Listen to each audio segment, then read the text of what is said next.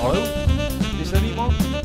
Als alles op rolletjes loopt, dan zal de Scheveningse pier de volgende maand geveld gaan worden aan een nu nog mysterieuze geldschieter. Wat voor soort bestemming dit hoopje beton hier achter mij zal gaan krijgen, is nog onbekend. Maar op een Arabische nieuwszender verscheen deze week een steenrijke oliesjeik die deze pier wil ombouwen tot een religieus centrum.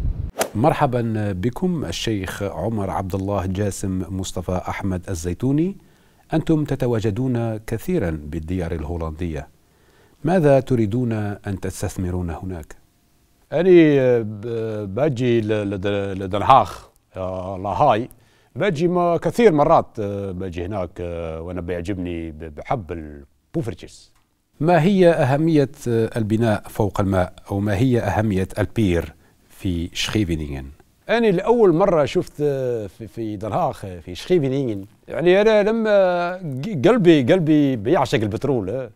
قلبي بترولي لما أنا بشوف آه، آه، آه، البناء فوق الماء هذا قلبي بيشتعل بنار من البترول وبيشتعل يعني بيشتعل آه، ف لم افهمك يا شيخ ممكن تشرح لي Hallo meneer Udink. Ja. U gaat de Scheveningse pier binnenkort veilen. Maar kunt u ons een eh, tipje van de Arabische sluier oplichten?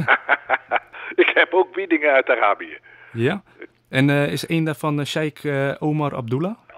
Dat hem al zou zijn, dan zou ik daar nu geen informatie over geven. Eh, wel zeg ik dat er belangstelling is uit het Midden-Oosten. Dus u weet iets wat wij niet weten. Ja, maar natuurlijk, dat is mijn vak. Hoe zou u het vinden als de, de pier in Scheveningen wordt opgekocht door een uh, Saoedische oliesjeik?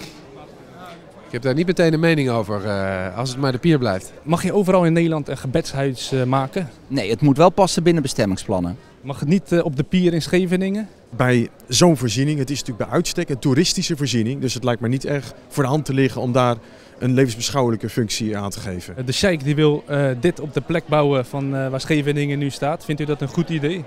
Het lijkt een beetje op de Efteling. Uh, het ziet er wel mooi uit. Gebedsruimte, dat betekent toch weer dat het voor mensen niet toegankelijk is. Dus ja, een kerk of een moskee, dat zou ik toch wel heel beperkend vinden. Is het volgens u uh, mosk ja of mosk nee? Kijk, ik ga door.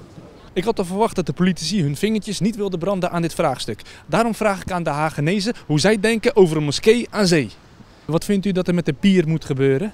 Plat gooien, ja. Mogen ze daar ook een moskee op bouwen? Wat mij betreft wel. Ja. En dan zo diep mogelijk de zee in. het hoort niet bij in dit land. Waarom hoort het er niet in? Ja, dat weet ik eigenlijk ook niet. Dat is mijn, mijn, mijn kijk op, op dit land gewoon. Uh, dit is een, het is een polderland. Ik bedoel, ik, uh, dit land bestaat eigenlijk uit weilanden en koeien. Op Scheveningen, dat is helemaal mooi. Waar al die blote vrouwen in de zomer rondlopen. Nou, denk ik dat het goed is voor hun. Ja.